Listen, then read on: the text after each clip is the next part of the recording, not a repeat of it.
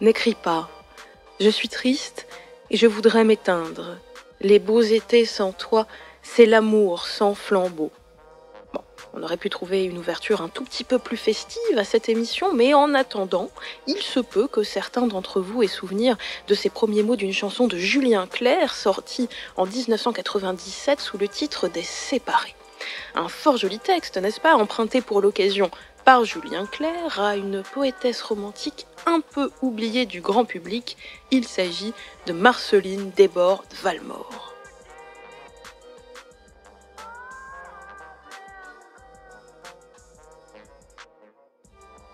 Alors les amateurs d'une certaine chanson française se rappelleront peut-être aussi Billet de femme, un album concept composé par Pascal Obispo en 2016 à partir d'une dizaine de poèmes de cette même Madame Desbordes Valmore malheureusement, il semble que ces tentatives musicales n'aient pas tout à fait réussi à raviver la réputation littéraire de cette femme, dont le talent était pourtant largement reconnu de son vivant, euh, que ce soit par ses pairs en littérature les plus fameux, Baudelaire, Verlaine, Sainte-Beuve, et aussi reconnu par le grand public c'est que Marceline Desbordes-Valmore avait plus d'un atout dans sa manche pour demeurer bien ancrée dans la mémoire collective.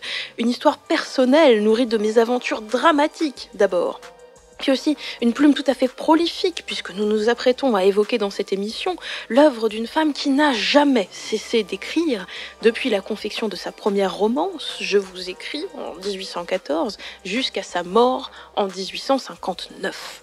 Près d'un demi-siècle de création donc, et une vingtaine de recueils poétiques et de récits publiés à l'inarrêtable compteur de Marceline Desbordes-Valmore.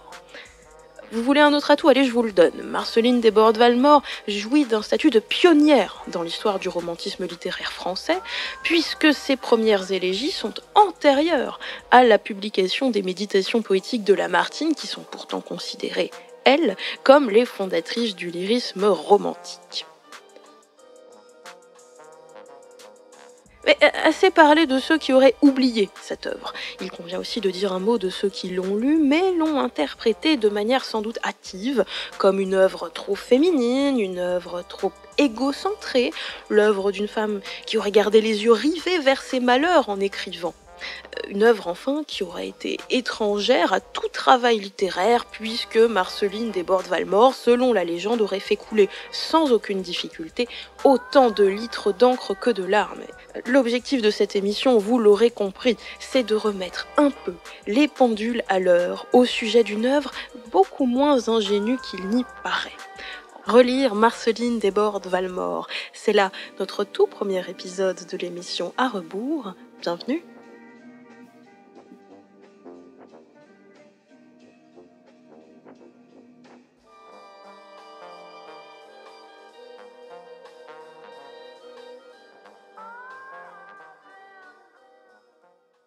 Pour explorer l'œuvre de Marceline Desbordes-Valmore, nous allons avoir besoin de toute la sapience de notre invité. Esther Pinon, bonjour et merci d'avoir accepté notre invitation. Euh, je me permets de vous présenter en quelques mots qui de toute façon seront trop rapides. Vous êtes professeur de lettres et préfacière de la toute nouvelle édition des Pleurs de Marceline Desbordes-Valmore qui vient de paraître dans la collection GF aux éditions Flammarion. Ma première question se permettra d'être un peu personnelle. On va évoquer aujourd'hui une œuvre que peu d'auditeurs sans doute auront croisée durant leur parcours scolaire. Euh, d'où ma question, comment votre route universitaire, que ce soit en tant qu'élève ou en tant qu'enseignante, vous a-t-elle mené vers Marceline Desbordes-Valmore et quelles ont été, ou sont encore d'ailleurs, vos perspectives de recherche à propos de son œuvre? Alors moi, Marceline Desbordes-Valmore, je l'ai rencontrée tôt et tard, euh, tôt grâce à Julien Clerc. Ça a été effectivement mon premier contact avec elle, euh, avant une éclipse assez longue, puisque moi non plus je ne l'ai pas rencontrée ni en tant qu'élève, ni en tant qu'étudiante euh, au cours de mon cursus euh, scolaire et universitaire. J'ai consacré ma thèse à Musset, euh, ce qui m'a permis de retrouver son nom régulièrement, euh, puisque sans s'être jamais croisés, ils évoluaient dans des cercles parallèles et il y a un certain nombre d'analogies hein, dans, dans leur écriture poétique. La question du lyrisme les rapproche. Euh, et donc ma, ma, thèse a porté sur l'écriture du sacré chez Musset. Et une fois cette thèse terminée, j'ai eu envie euh, d'élargir mon domaine de recherche euh, pour m'intéresser à la question de l'articulation du doute et de la rhétorique dans la poésie romantique. Euh, et c'est là que je me suis vraiment plongée davantage euh, dans les poèmes de Marceline Desbordes-Valmore parce qu'elle fait partie euh, des auteurs chez qui cette question est vraiment aiguë. Hein. Elle l'est pour tout le romantisme puisqu'on est à une période euh, où le, les questionnements spirituels sont intenses.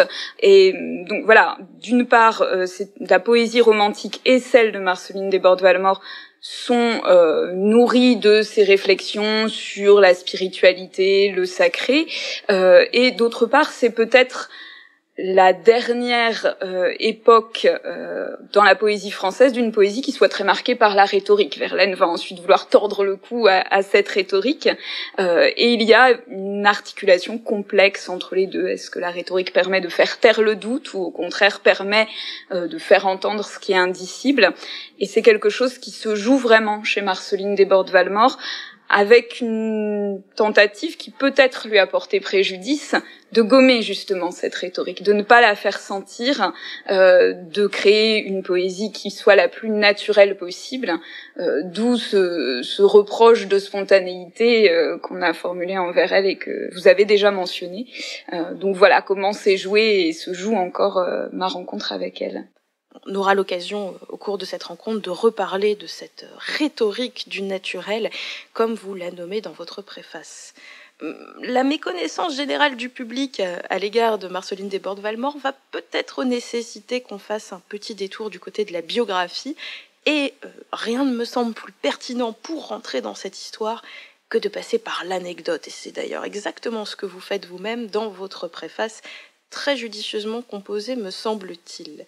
Est-ce que vous voudriez bien revenir pour nous faire rentrer dans cette histoire sur l'anecdote des deux sceaux que s'était fait confectionner Marceline Desbordes-Valmore? Alors je précise tout de suite l'orthographe de sceau pour qu'il n'y ait pas d'ambiguïté sur la nature de l'anecdote. S-C-E-A-U-X. Oui, euh, c'est un, un, événement euh, de sa vie qui m'a paru euh, très intéressant et très représentatif. Euh, on est à l'hiver 1827-1828, elle a alors 41 ans et elle vient de vivre l'un des nombreux événements douloureux de son existence, puisqu'elle a rompu avec le poète Hyacinthe de Latouche, qui est peut-être aujourd'hui encore plus oublié qu'elle, mais qui à l'époque était au moins aussi renommé. Et après cette rupture douloureuse, euh, peut-être pour tenter de donner sens et de donner forme à son expérience, elle se fait graver deux sceaux ou deux cachets.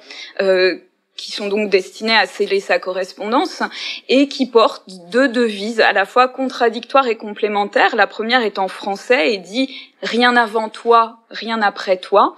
Euh, et la seconde devise est en anglais parce que Marceline Desbordes-Valmore a été tenue à, à, apprendre cette langue. Euh, et cette devise est to give, to forgive, donc donner, pardonner. Euh, c'est un geste intime et littéraire à la fois, puisque ces cachets sont destinés à, à sa correspondance, et que c'est aussi un geste qui passe par l'écrit. Euh, et je crois que hum, ces deux cachets et leurs deux devises illustrent deux tendances complémentaires euh, de la vie et aussi de l'écriture de Marceline Desbordes-Valmore d'un côté avec ce rien avant toi, rien après toi, un sens de la passion intense, exclusive, euh, qui pourrait conduire à un repli sur soi, voire à une attitude presque mortifère, à un repli sur le passé aussi, une certaine euh, voilà attirance euh, vers le gouffre, et d'autre part avec ce donner pardonner, euh, un instinct du don justement, un instinct de l'ouverture à l'autre, qui la projette vers la vie, qui la projette vers l'avenir, même si la souffrance ne s'efface pas euh, et qui confère au personnage et à son écriture une énergie que je trouve admirable et qui, à mon sens, ressort bien de, de la tension euh, qui peut se, se faire jour entre ces deux devises. Alors maintenant que nous avons parlé un peu de ces deux sceaux et de leur signification symbolique, je pense euh, qu'il devient à peu près incontournable de faire cas de ces drames dont je parlais très rapidement en introduction et qui jalonnent toute l'existence de Marceline Desbordes-Valmore. D'abord, quelle a été la nature de ces drames et ensuite, quelle a été leur part d'influence sur la production littéraire de Marceline Desbordes-Valmore? Alors, leur influence, on va le dire tout de suite, est forte puisqu'elle se réfère sans cesse à ses souvenirs de manière explicite ou implicite. Euh, elle se réfère aussi à des souvenirs heureux puisque son enfance semble avoir été heureuse ou peut-être euh, l'idéaliste-elle dans son écriture? Elle est née à Douai euh, et elle y a vécu les dix premières années de sa vie dans un contexte euh, sans doute pas si idéal qu'elle le dépeint, euh, puisque ses parents euh, faisaient partie d'un milieu d'artisans et de commerçants peu fortunés, et sa naissance coïncide vraiment avec une période où les difficultés financières de sa famille s'accroissent, en raison notamment d'affaires plus ou moins douteuses dans lesquelles son père s'était engagé. Il y a aussi beaucoup de tensions dans le couple, mais dont elle ne semble pas avoir eu conscience ou connaissance toute petite. Donc on retrouve sans cesse dans son écriture la lumière de ces dix premières années de sa vie, euh, qui sont une sorte de paradis perdu. Perdu parce que à partir de l'âge de dix ans, tout bascule. Sa mère quitte le foyer familial pour suivre euh, son amant. Marceline Desbordes-Valmore, enfin qui s'appelait encore Marceline Desbordes, euh, avait un frère et deux sœurs qui restent vivre avec leur père, mais elle, et la petite dernière. Et donc en cette année 1796, elle a 10 ans euh, et sa mère l'emmène avec elle. Ne souhaite pas laisser sa dernière fille euh, avec son mari. Et c'est le début de cinq années de tribulation et de grande précarité. Euh, vous imaginez euh, deux femmes, euh, enfin une femme et une jeune enfant euh, et un homme euh, qui n'est pas l'époux de cette femme, leur situation sociale et économique est complexe, si bien que pour tenter d'améliorer un petit peu l'ordinaire, on va faire entrer la petite fille au théâtre. Donc dès l'âge de 11-12 ans, Marceline Desbordes-Valmore est sur les planches, ce qui je crois est très important pour son écriture. elle va jouer, réciter des textes, chanter aussi.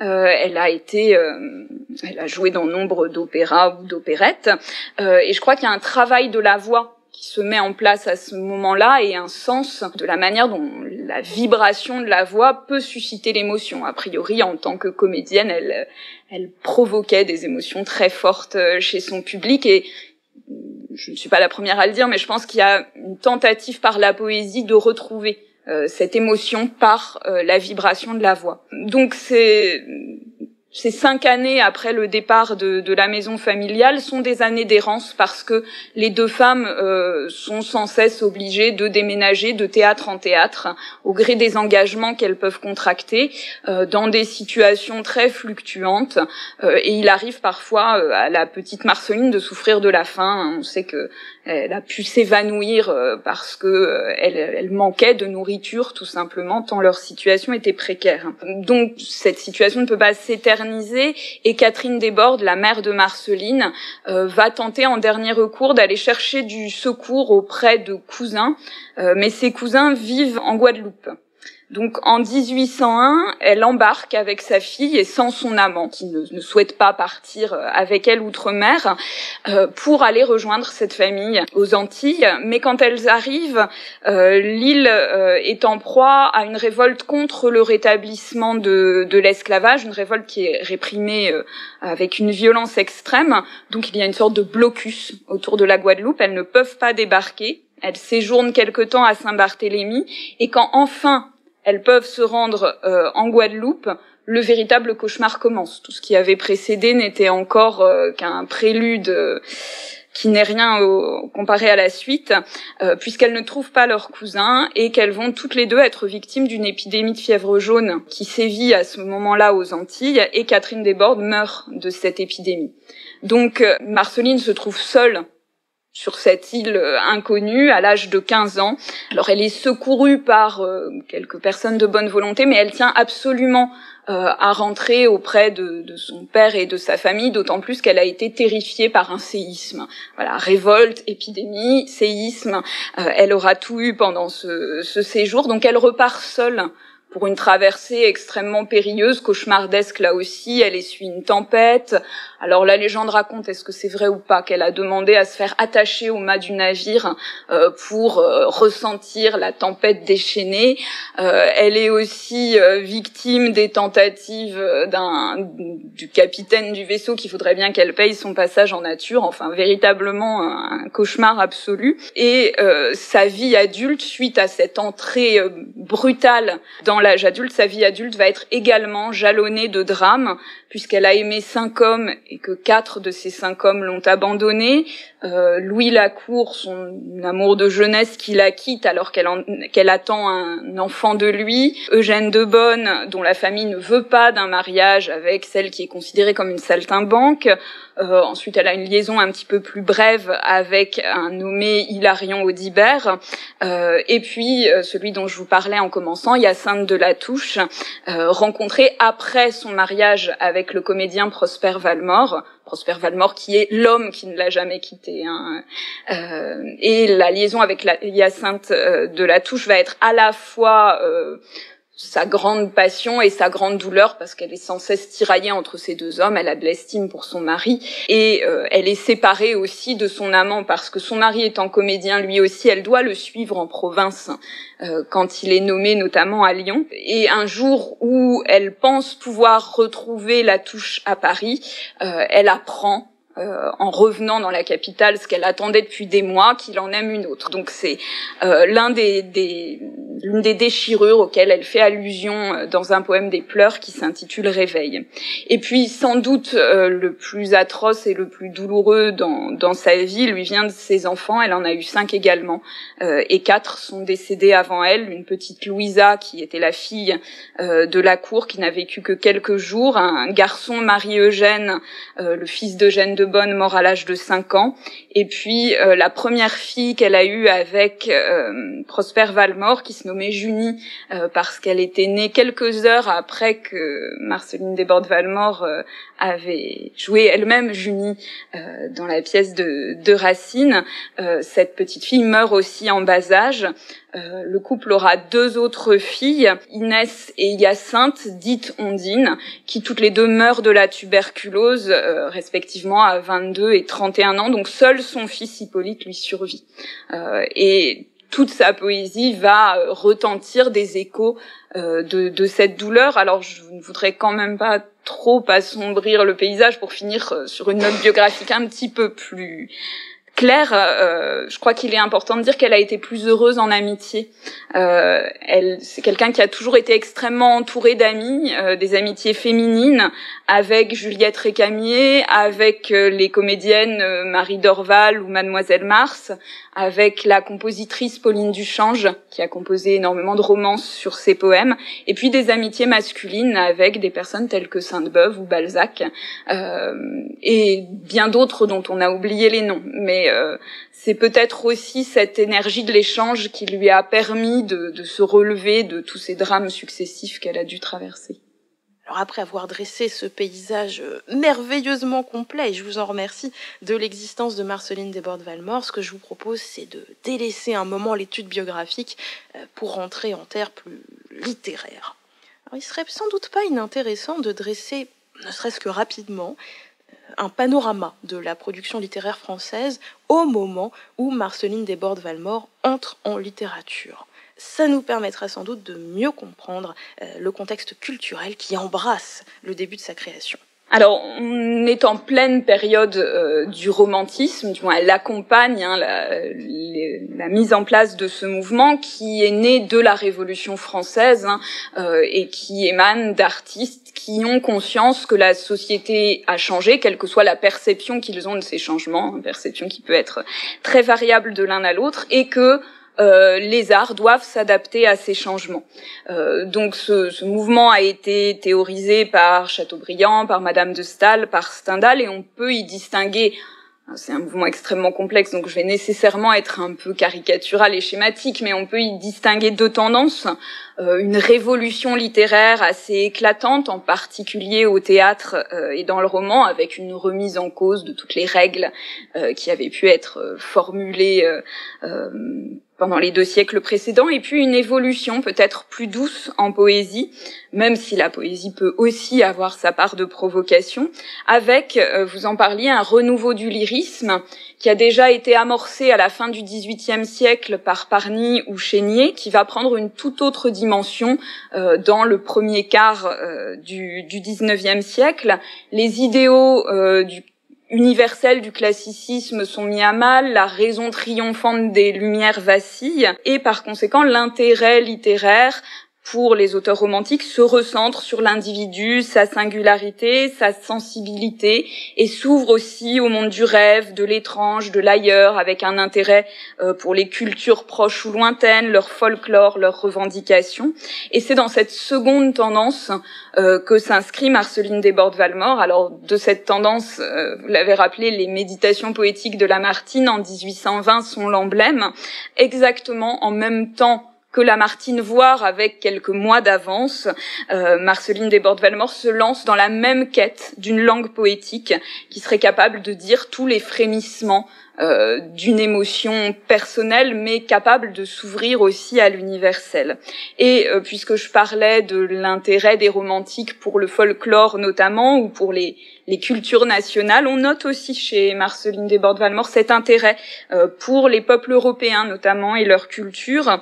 elle écrit, et on les retrouve dans les pleurs, des poèmes de soutien aux insurrections belges et polonaises. Elle adapte les airs nationaux de l'Irlandais Thomas Moore et elle euh, rédige même quelques poèmes en picard, euh, la, la, langue du pays dont elle est issue. Euh, voilà comment elle s'inscrit hein, dans ce, ce, mouvement romantique dont elle est l'une des, des représentantes majeures.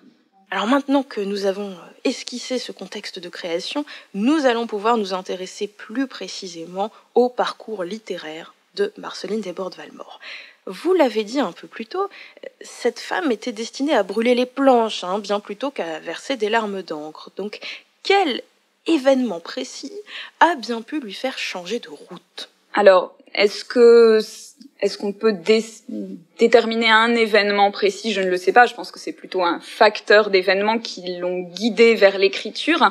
Mais euh, il y a un épisode déclencheur euh, dans sa vie euh, qui lui vient justement de l'un de ses nombreux amis, euh, un médecin, le docteur Alibert, qui la voyant, on dirait aujourd'hui déprimée et affligée après l'une de ses ruptures, hein, la rupture avec Eugène de Bonne, le, le père de, de, son fils encore en vie à l'époque, lui conseille d'écrire pour se reprendre pour des raisons thérapeutiques. Euh, visiblement, il avait euh, une conception assez euh, novatrice de la thérapie par l'art, hein, des choses que on préconise aujourd'hui. Et elle obéit à ce conseil. Alors, je pense qu'elle n'a pas eu trop de mal à se plier à l'ordonnance du docteur et que c'était quelque chose qui correspondait en fait à une envie profonde. Ça a simplement été une impulsion à partir de laquelle elle ne cesse plus d'écrire. Dans votre préface, vous rappelez à très juste titre que la plume de Marceline Desbordes-Valmore ne s'est pas essayée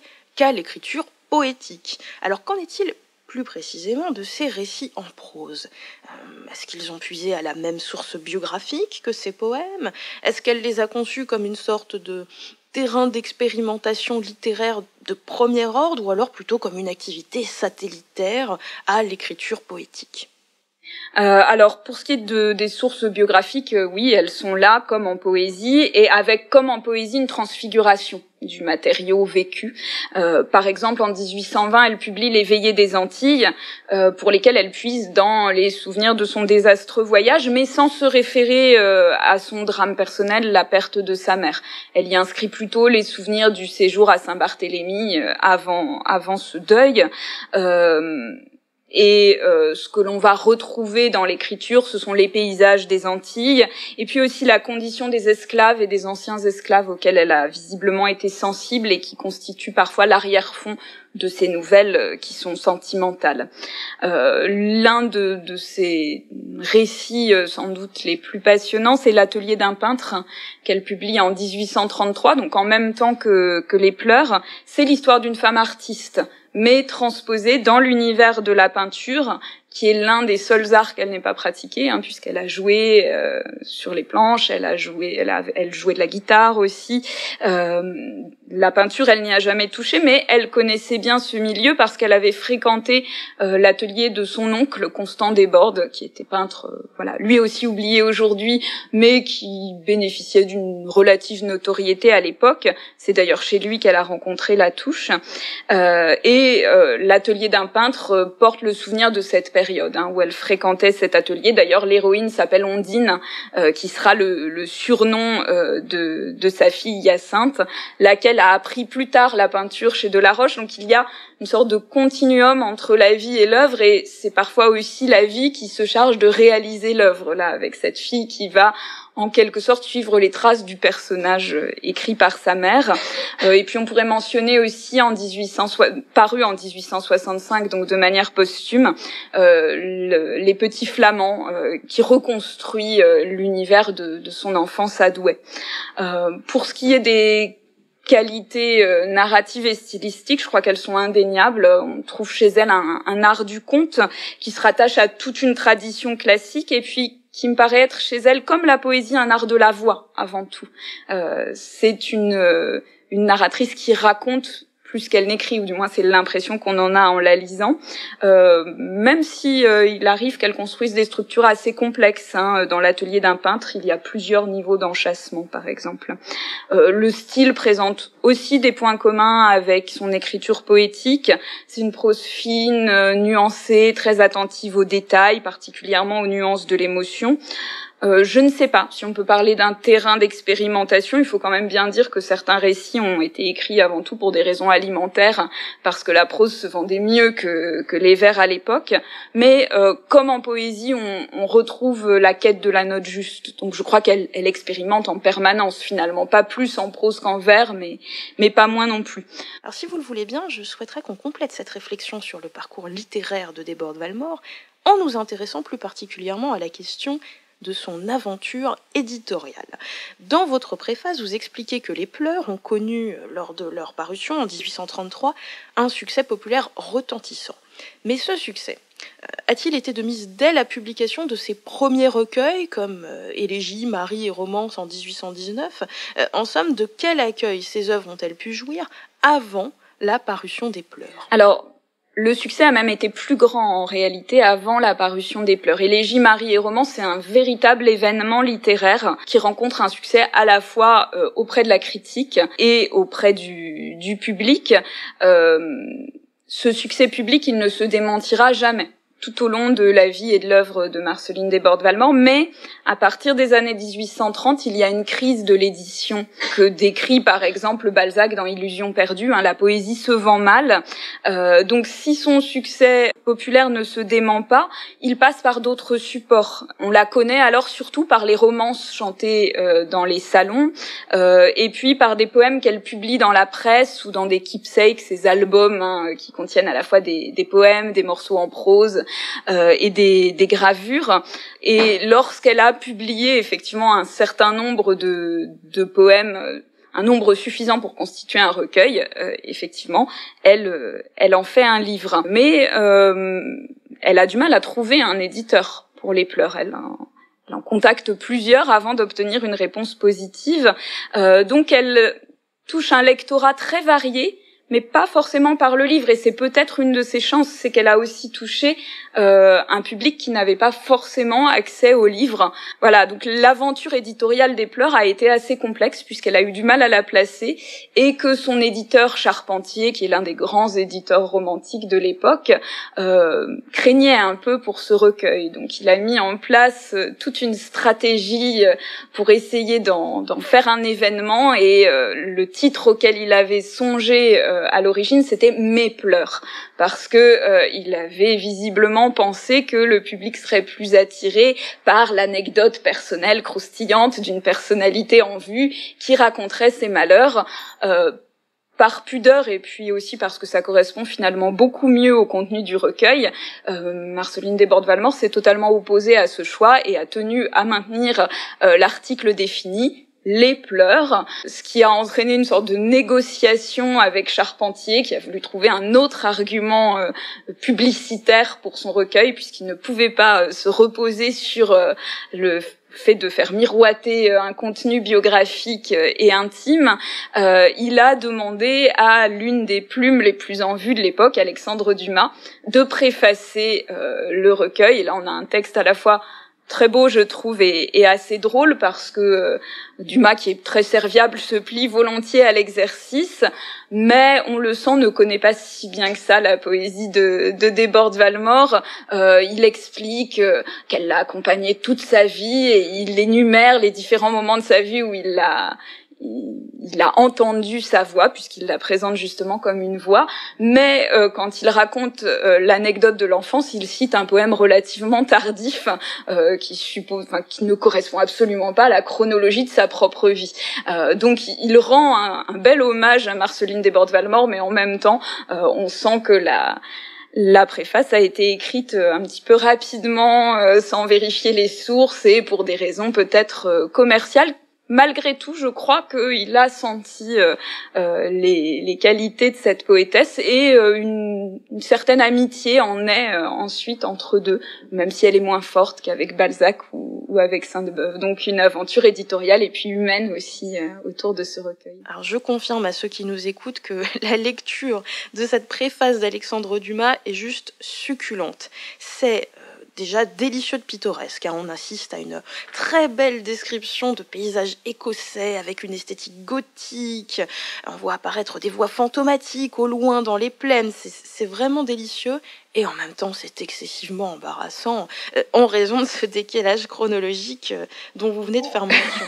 Ça n'a pas du tout gêné Marceline Desbordes-Valmore, visiblement. Elle était heureuse euh, que, que, Dumas lui rende cet hommage euh, et ne s'est pas formalisée du, du, petit bricolage chronologique auquel il s'était livré.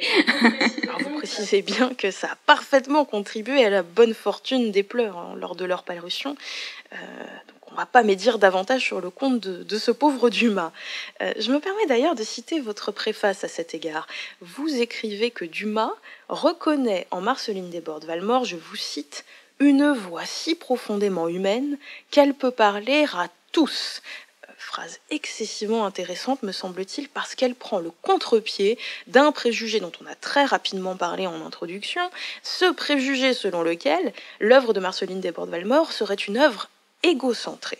Alors en quoi une lecture attentive de son œuvre permet justement de comprendre qu'il s'agit de tout sauf d'une plainte solipsiste? Alors, en ce qui concerne les pleurs, je crois qu'il suffit d'ouvrir le recueil et d'en lire le premier vers euh, pour constater que si la plupart des poèmes de ce recueil relèvent effectivement d'un lyrisme personnel, le je est presque toujours accompagné d'un tu ou d'un vous.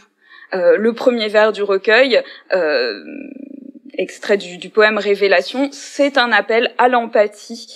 Euh, donc forcément implicitement une plainte hein, qui demande l'empathie suppose une douleur, mais une plainte qui se fait sur le mode de l'interpellation, de l'apostrophe. Ce premier vers, c'est vois-tu d'un cœur de femme, il faut avoir pitié. et il me semble que dans tout le recueil, l'expression de l'intime est aussi et peut-être d'abord une aspiration au dialogue, à la rencontre, euh, à l'ouverture aux autres. Euh, les poèmes tournés vers autrui sont presque aussi nombreux que les poèmes du moi. Il y a dans ce recueil un partage des souffrances, une ouverture à la souffrance des autres ou une admiration pour d'autres artistes. Euh, par exemple, pour Louise Labbé, hein, il y a un, très beau poème euh, consacré à Louise Labbé dans lequel les voix des deux femmes se fondent euh, je cite un, petit extrait de ce poème, euh, donc euh, écrit à Lyon. Euh, où Marceline Desbordes-Valmore séjournait où elle ne se plaisait pas du tout. Euh, donc elle a conscience de marcher sur les traces euh, de Louise Labbé et elle s'étonne que le génie poétique de Louise Labbé ait pu s'épanouir là, dans cette ville qu'elle n'apprécie pas beaucoup. Donc elle s'exclame « Quoi, c'est là ton berceau poétique Louise? Mélodieuse enfant fait d'amour et d'amour et d'âme et d'âme encore et de mollesse exquise. Quoi? C'est là que ta vie a pris l'air et le jour. Et dans le, style de ces quelques vers, euh, ces rythmes binaires fait d'amour et d'amour et d'âme et d'âme encore, on retrouve le souvenir euh, aussi du style de Louise Labbé. Et là, je trouve qu'on voit vraiment comment Marceline Desbordes-Valmore n'est absolument pas repliée sur son ego, euh, mais au contraire très attentive aux voix des autres qu'elle fait entrer dans sa propre poésie. Et puis, il y a aussi dans ce mouvement vers l'autre tout un jeu sur les épigraphes, puisque l'immense majorité des poèmes du recueil euh, en sont accompagnés. Alors, les mauvaises langues diraient que c'est pour gonfler le volume, euh, mais euh, moi, je pense qu'il y a euh, un véritable choix de sa part et un choix très concerté. C'est une manière pour Marceline Desbordes-Valmore de se situer dans le champ littéraire. Euh, de, de, désigner ses préférences. Euh, c'est une manière aussi de rendre hommage à des auteurs morts ou vivants qu'elle admire. Et puis c'est une manière de faire entrer dans le recueil quelque chose qui a été très important dans sa vie, une forme de sociabilité. Euh, elle prolonge par ses épigraphes tous les échanges qu'elle a pu nouer au fil de rencontres euh, dans des salons ou de rencontres épistolaires parce qu'elle avait une correspondance très nourrie, notamment quand elle vivait en province. Euh, quelques exemples de, de ces épigraphes. Euh, elle dédie un poème au chansonnier Béranger, enfin lui consacre tout un poème en hommage, et l'épigraphe de ce poème est emprunté en toute logique à Béranger. Euh, c'est la suivante, Mes chansons, c'est moi. Le bonheur de l'humanité a été le songe de ma vie rien de très étonnant, si ce n'est euh, la date de parution du livre dont sont extraites ces deux phrases. Euh, il s'agit de deux phrases extraites de la préface euh, des chansons nouvelles et dernières euh, de Béranger, euh, qui précèdent de très peu la parution des pleurs en 1833. Donc vraisemblablement au moment où elle composait le recueil, euh, cette préface n'était pas encore parue. Donc l'inscrire dans son texte, c'est une manière de suggérer la proximité du lien qu'elle entretient avec Béranger. Ils s'échangeaient en réalité vraisemblablement leur manuscrit. Elle lui a envoyé un poème, euh, il lui a probablement fait lire sa préface où elle y a eu accès d'une manière ou d'une autre elle en a eu la primeur avant sa parution. Euh, donc là, il y a vraiment une manière euh, de se signaler comme poète non pas marginale, mais au contraire euh, totalement inscrite euh, dans la, littéraire de son temps. Autre idée euh, à déconstruire, me semble-t-il, c'est celle d'une œuvre qui aurait été créée à la seule faveur de la spontanéité, c'est-à-dire à la faveur d'un talent brut qui serait étranger à tout travail de composition littéraire. Et je crois, si je ne dis pas de bêtises, euh, que cet argument a été brandi par des poètes de premier ordre au XIXe siècle, n'est-ce pas? Oui, alors bon, cette, euh, ce reproche euh, d'une poésie uniquement spontanée, euh, c'est un reproche que Marceline Desbordes-Valmore n'est pas la seule à encourir. Hein. Beaucoup de romantiques vont essuyer ce reproche-là de la part de la génération poétique suivante, et Musset au premier chef. C'est le résultat d'une certaine conception de la poésie, une conception romantique de la poésie sincère, euh, Marceline Desbordes-Valmore et bien d'autres considèrent qu'il faut être sensible pour être poète et l'idée va dériver et vers euh, l'idée qu'il suffirait d'être sensible pour être poète. Et effectivement, euh, c'est ça devient une sorte de leitmotiv qui revient sous la plume de tous les grands critiques qui ont rendu hommage à Marceline Desbordes-Valmore, mais des hommages euh, souvent à double tranchant. Alors je me permettrai peut-être de lire un petit florilège de type de remarques. Donc Sainte-Beuve, qui à l'époque ne, connaît pas encore Marceline Desbordes-Valmore et n'est pas encore euh, devenue son amie, rencontre des pleurs, en fait un compte-rendu plutôt élogieux, mais euh, voilà, un, un, éloge qui a quand même d'étranges accents, notamment au moment où il la compare à Lamartine. Elle et lui, Lamartine et Madame Valmore, ont de grands rapports d'instinct et de génie naturel.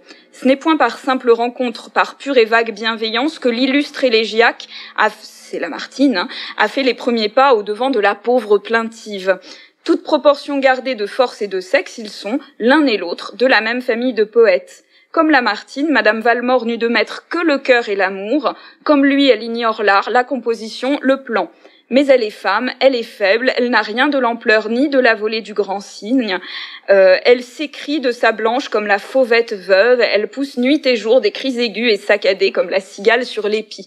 Donc éloge, hein, son chant serait parfaitement naturel, mais ne serait que cela, une sorte de poétesse sauvage, de bonne sauvage, je ne sais pas. Euh, on retrouve La même chose peut-être même en plus féroce euh, chez Baudelaire, euh, qui loue euh, Marceline Desbordes-Valmore en la distinguant des autres poétesses. Elle serait la seule à sauver hein, parmi toutes les femmes qui écrivent. On peut lire ceci sous sa plume. Si jamais homme désira pour sa femme ou sa fille les dons et les honneurs de la muse, il n'a pu les désirer d'une autre nature que ceux qui furent attribués à Madame Valmore. Parmi le personnel assez nombreux des femmes qui se sont de nos jours jetées dans le travail littéraire, il en est bien peu dont les ouvrages n'aient été sinon une désolation pour leur famille, pour leur amant même, car les hommes les moins pudiques aiment la pudeur dans l'objet aimé, au moins entaché d'un de ces ridicules masculins qui prennent dans la femme les proportions d'une monstruosité. Nous avons connu la femme auteur philanthrope, la prêtresse systématique de l'amour, la poétesse républicaine, la poétesse de l'avenir, fourriériste ou saint-simonienne, et nos yeux, amoureux du beau, n'ont jamais pu s'accoutumer à ces laideurs compassées, à toutes ces scélératesses impies, il y a même des poétesses impies, à ces sacrilèges euh, pastiches de l'esprit mâle. Madame Desbordes-Valmore fut femme, fut toujours femme, et ne fut absolument que femme. Mais elle fut à un degré extraordinaire l'expression poétique de toutes les beautés naturelles de la femme. Qu'elle chante les langueurs du désir dans la jeune fille, la désolation morne d'une Ariane abandonnée, ou les choses enthousiasmes de la charité maternelle, son chant garde toujours l'accent délicieux de la femme, pas d'emprunt, pas d'ornement factice, rien que l'éternel féminin, comme dit le poète allemand, c'est-à-dire Goethe. C'est donc dans sa sincérité même que Madame Valmore a trouvé sa récompense, c'est-à-dire une gloire que nous croyons aussi solide que celle des artistes parfaits. Donc euh, on voit bien l'ambivalence de, de cet éloge, euh, même gloire que les artistes parfaits, ce qui suppose qu'elle ne l'est pas. Alors ce que je trouve excessivement fin dans votre dossier critique, oui, je préviens tout le monde, c'est la minute Lesbot, euh, c'est que vous ne cédez pas à la tentation d'entrer directement en contradiction avec euh, euh, les propos condescendants ou misogynes de ces auteurs, mais au contraire, vous avez la pertinence de vous mettre, ne serait-ce qu'un seul instant, à la place de ces auteurs et de vous demander pour quelles raisons ils ont bien pu penser que l'œuvre de Marceline Desbordes-Valmore était une œuvre spontanément rédigée à partir des seuls élans bruts de son cœur. Et pour comprendre cela, tout est à faire, dites-vous, de composition. Oui, euh, parce que effectivement, dans les pleurs notamment, euh, Marceline Desbordes-Valmore nous laisse croire à la spontanéité dans, dans l'ordonnancement du recueil. Alors, D'abord parce que, je le disais tout à l'heure, elle publie dans la presse, euh, donc ses poèmes sont reçus au fil des jours, au fil des mois, et on a l'impression qu'elle les déverse comme ça au fil de la plume, et quand elle en a un nombre assez considérable pour faire un volume, elle en fait un recueil. Euh, en réalité, il y a bien une composition, une recomposition euh, qui advient d'abord pour des motifs personnels. Euh, il est important pour Marceline Desbordes-Valmore que son mari ne s'aperçoive pas que tous les poèmes d'amour du recueil n'ont pas forcément été écrits pour lui. Euh, mais euh, au-delà de, de l'anecdote, je crois qu'il y a aussi des motifs plus profonds et plus littéraires à cette recomposition. quand on lit le recueil, notamment le premier tiers, on a vraiment l'impression qu'il suit la courbe d'une existence. On peut le lire comme une histoire d'amour, de l'enthousiasme des débuts jusqu'aux désillusions. Euh, cette euh, impression contre laquelle Baudelaire ou, Verlaine n'avaient aucune raison de se défendre, hein, euh, quand on regarde la chronologie des poèmes, c'est une impression qui est complètement orchestrée par Marceline Desbordes-Valmore, parce que les poèmes ne sont absolument pas présentés dans leur ordre chronologique. Elle les redispose euh, dans un véritable ordonnancement, et je crois qu'elle les redispose de manière à construire euh, le parcours d'une voix qui s'apprivoise elle-même. Euh, c'est plus l'histoire d'une voix qu'on peut lire dans ce recueil que l'histoire euh, d'une âme amoureuse. effectivement, ce recueil commence avec l'expérience personnelle ou donnée pour telle, hein, avec sans doute un jeu de masque.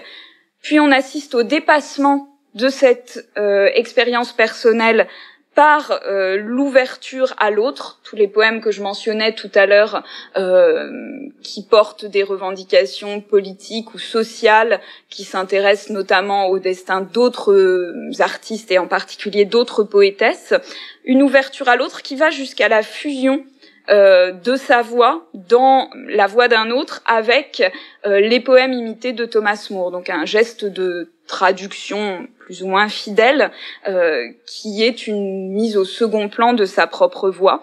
Donc, euh, au, au, fil de ce, cette composition, on a l'impression complètement construite, complètement orchestrée, d'assister à un apprentissage de la vie et de l'écriture par le jeu poétique, euh, un apprentissage de la vie et de l'écriture qui euh, aboutit in fine à un geste de transmission avec la seule section euh, du recueil qui porte un titre, la section aux petits enfants. Euh, des poèmes destinés à l'enfance et qui ont une visée euh, relativement didactique. donc comme si elle avait elle-même au fil de ses poèmes, effectuer un apprentissage et qu'ensuite euh, il lui importait de le retransmettre. Et puis un dernier poème vient clore le recueil, le convoi d'un ange, euh, et ce poème rejoue tout le mouvement. Euh, c'est un poème qui repose sur un souvenir d'enfance, dans lequel l'émotion a libre cours, mais dans lequel cette émotion est dépassée par l'empathie. C'est l'histoire, enfin, elle raconte comment enfant euh, elle a fait partie du cortège funéraire d'une petite fille et elle commence par raconter ce qu'elle a ressenti elle à l'époque, à supposer que l'anecdote soit vraie, hein, on n'a pas de moyen de le vérifier. Puis parce que entre temps, au moment de l'écriture, elle est devenue femme et mère et mère endeuillée, euh, elle s'adresse à la mère de l'enfant défunte et on voit ce passage de l'émotion personnelle à l'empathie, à la compréhension de l'autre et euh, le tout se clôt sur une méditation à portée plus vaste. Euh, donc il y a un vrai mouvement pour moi dans le recueil d'élévation progressive, de dépassement du, du pleur euh, sur soi-même euh, vers euh, d'autres larmes qui sont là pour pour tous finalement, d'où le titre Les pleurs et non pas Mes pleurs, qui aurait été un contresens total. Mais le début de cette composition euh, fait que beaucoup en sont restés à mes pleurs et n'ont vu que cela euh, dans, dans le recueil. Ce qui explique finalement ce, ce malentendu permanent hein, sur son œuvre. Alors nous nous acheminons euh, doucement mais sûrement vers la fin de cet entretien. après avoir esquissé ce que vous nommez vous-même l'itinéraire d'un esprit en métamorphose, ce que je vous propose, c'est de parler un peu de la réception des pleurs vous consacrez une partie de votre dossier aux voix de femmes en poésie et Marceline Desbordes-Valmore, écrivez-vous, reconnaît bien volontiers son admiration pour ses sœurs en poésie. On a notamment parlé tout à l'heure du cas de Louise Labbé, mais c'est un cas parmi beaucoup d'autres. Euh, en retour, est-ce que quelques poétesses des temps futurs ont reconnu l'influence de Marceline Desbordes-Valmore sur leur propre création littéraire? Alors cette influence, elle existe.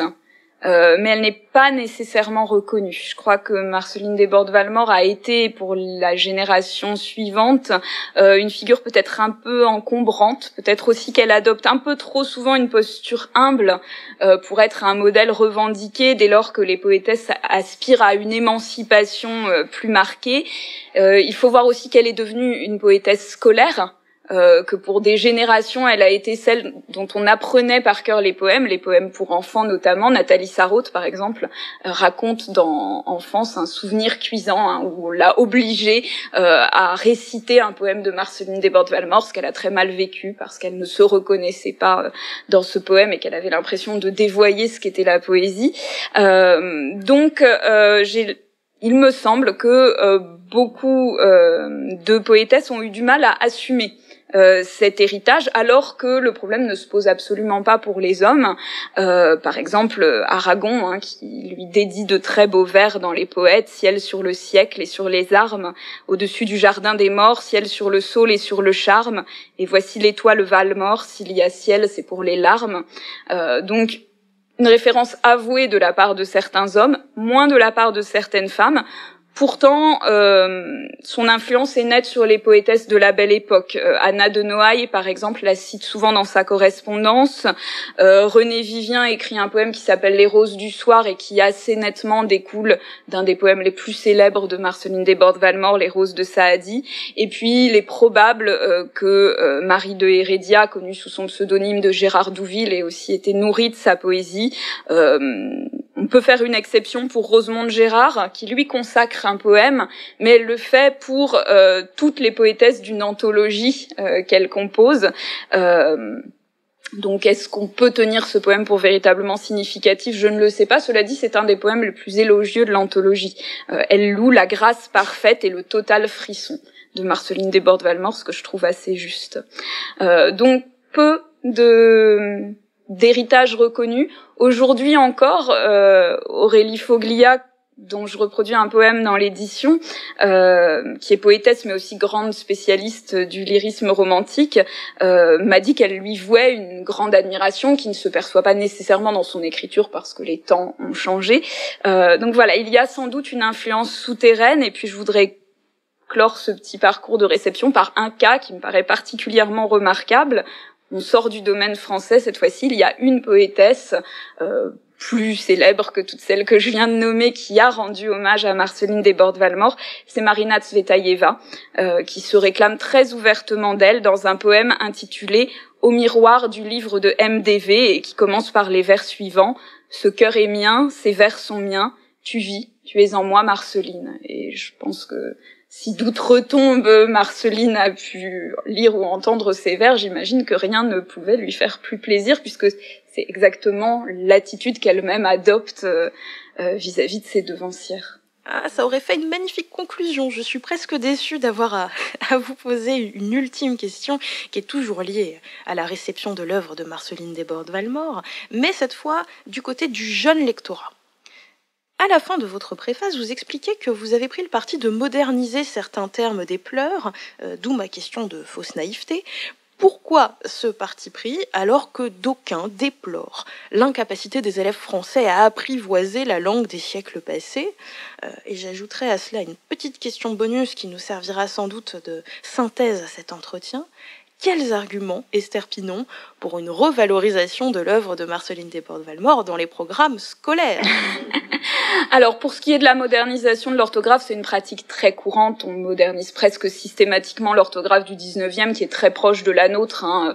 Les deux petites variantes qu'on va rencontrer, c'est le T qui disparaît dans des mots pluriels comme enfant écrit ANS, par exemple, ou âme qui n'a pas son accent circonflexe du point de vue de l'histoire de la langue, ça n'a pas une grande signification. Euh, donc rétablir euh, ces quelques signes euh, euh, permet au lectorat d'aujourd'hui de ne pas se poser la question en le voyant et ne nous enlève rien finalement. Voilà pourquoi euh, j'ai choisi de, de moderniser l'orthographe. Quant à ce qui est de Marceline Desbordes-Valmore dans les programmes scolaires, j'aimerais beaucoup effectivement qu'elle y entre. Elle y est déjà d'une certaine manière. Elle figure dans dans beaucoup de, de manuels, mais sous forme de morceaux choisis.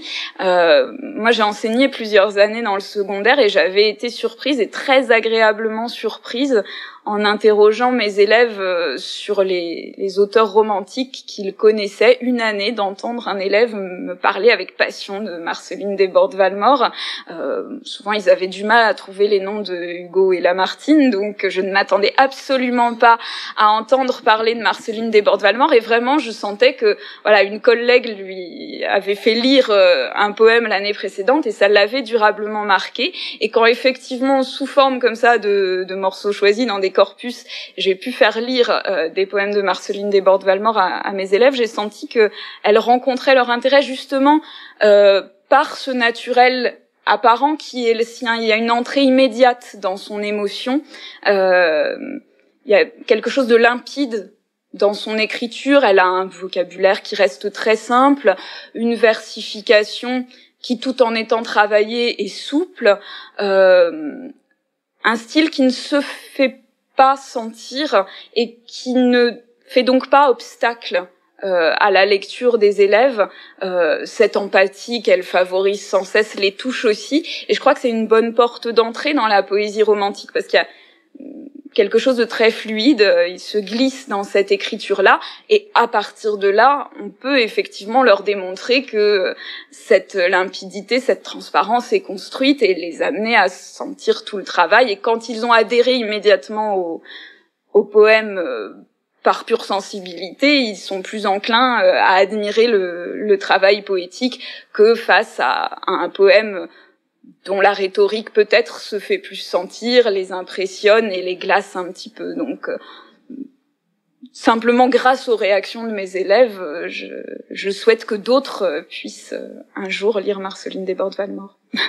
s'il est quelques professeurs de français parmi nos auditeurs, ben, chers amis, vous savez désormais quoi faire de vos corpus en classe. Merci infiniment Esther Pinon. Je rappelle que vous êtes l'auteur du très heureux dossier critique qui accompagne la nouvelle édition des Pleurs de Marceline Desbordes-Valmore, paru dans la collection GF aux éditions Flammarion. C'est vraiment avec toute la sincérité du monde que je vous recommande de vous précipiter sur cet ouvrage qui est commenté avec clarté, avec rigueur et avec un style remarquable. Il y a vraiment là de quoi euh, compléter avec intelligence euh, notre petite bibliothèque idéale. Alors dans l'attente de vos impressions de lecture sur les réseaux sociaux, Facebook, Twitter, Instagram, je vous dis à la prochaine et d'ici là, ma foi, bah, que vivent les classiques.